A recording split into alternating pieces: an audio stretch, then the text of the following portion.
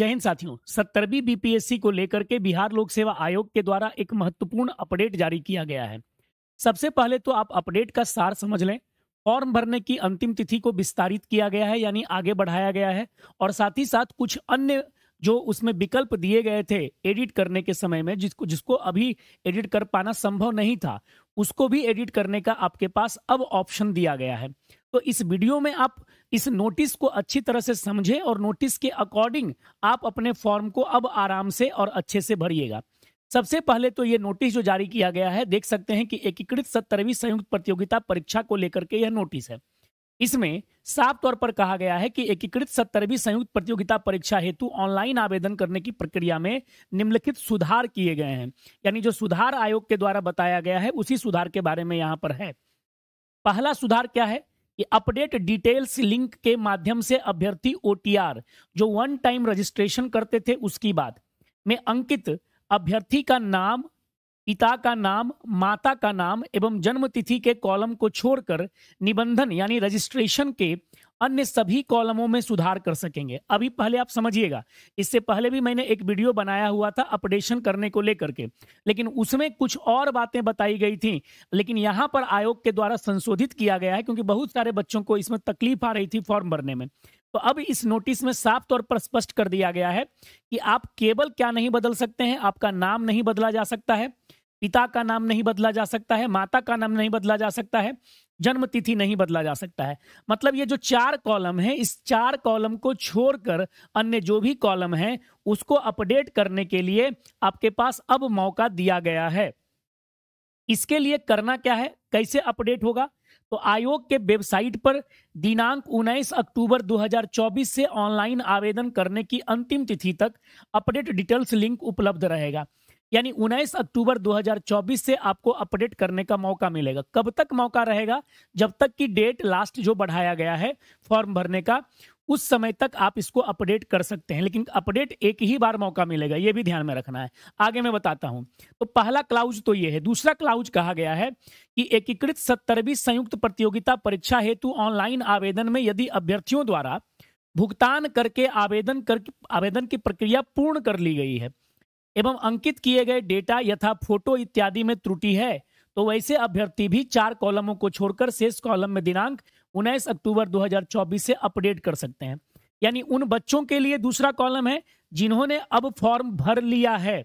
सत्तरवीं का फॉर्म भर लिया है, उनके पास भी उन्नीस अक्टूबर 2024 से अपडेट करने का लिंक मौजूद रहेगा। वो चार जो कॉलम दिए गए हैं, यानी आप अपना नाम पिता का नाम, माता का नाम और जन्म तिथि को छोड़कर बाकी अगर कोई विकल्प है, भले ही आपने इस बार पेमेंट कर दिया है फॉर्म सबमिट कर दिया है, इसके बावजूद अगर लगता है आपको कि कहीं मैं अपडेट कर सकता हूँ या कर सकती हूँ तो आप अपडेट कर सकते हैं। दूसरे में ये बताया गया है, तीसरा क्या है?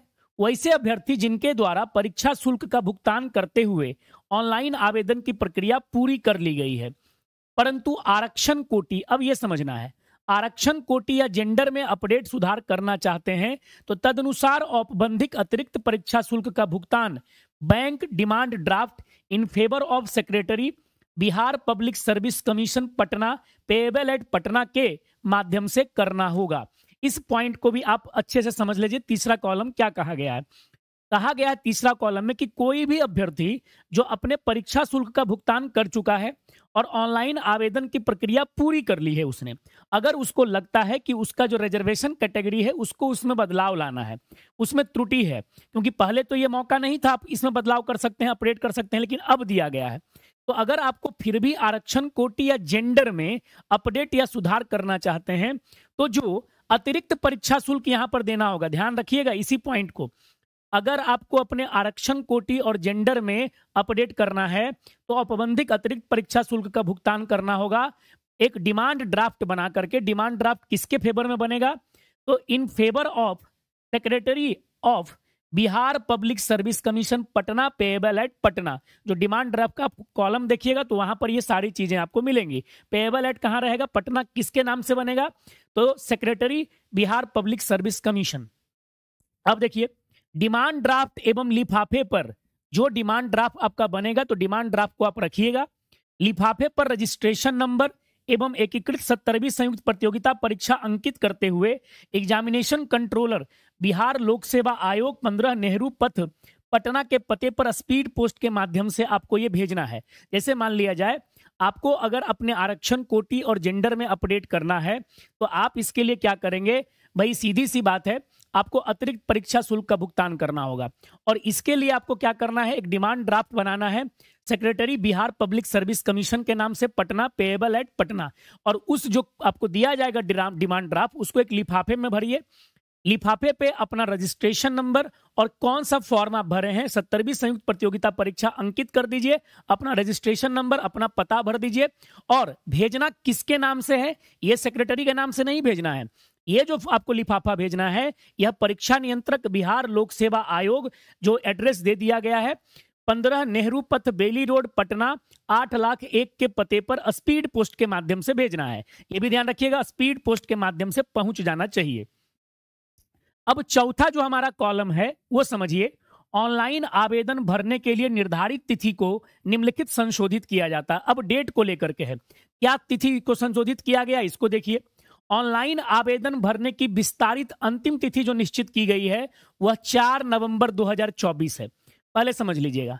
अभी तक जो आपने प्रोसेस समझा, वो तो ठीक है, लेकिन अब लास्ट डेट कब है एग्ज़ाम भरने का? तो लास्ट डेट है 4 नवंबर 2024 अपडेट या सुधार करने की तिथि क्या है?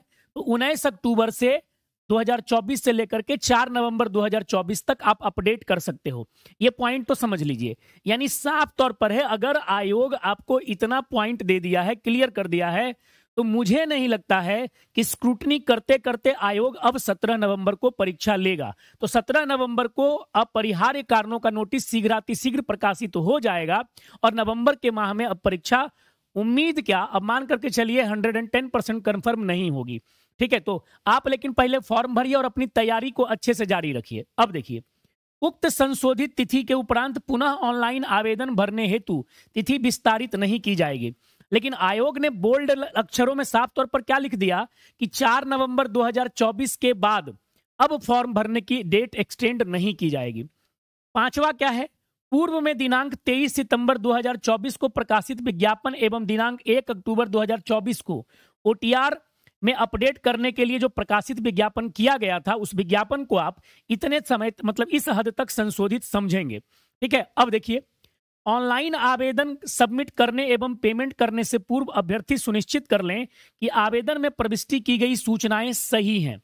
आप फॉर्म भरने से पहले, फाइनल अप्रूवल से पहले यह सुनिश्चित कर लीजिए कि आपने जो भरा है, वह सही है कि नहीं है।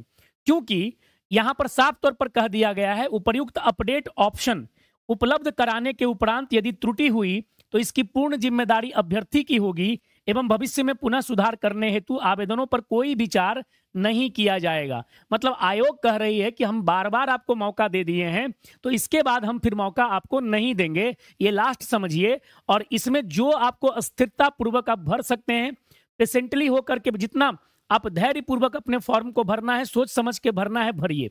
ठीक है? और देख सकते हैं नोटिस आज है 15 अक्टूबर 2024 परीक्षा नियंत्रक बिहार लोक सेवा आयोग पटना के हिसाब से नोटिस आ गया है। तो फॉर्म भरने की अंतिम तिथि 4 नवंबर है, अच्छे से फॉर्म भरिए ऑल द बेस्ट आप सभी को सत्तरवीं बीपीएससी का फॉर्म भरने के लिए। Thank you very much